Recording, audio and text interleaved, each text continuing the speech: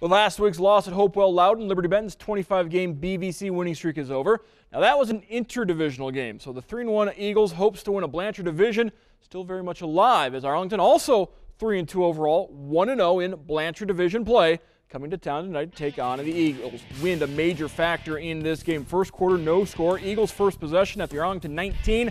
Nathan Kraft finds Mason Rose, slips through the tackler. Touchdown LB up 7 0. After another short Arlington punt, Liberty Benton ball with the wind at their back. Kraft going deep over the middle, but Grant Heister slips in front of it. The interception for Arlington returns it out to the 35 yard line. But Kraft would get his revenge ensuing possession.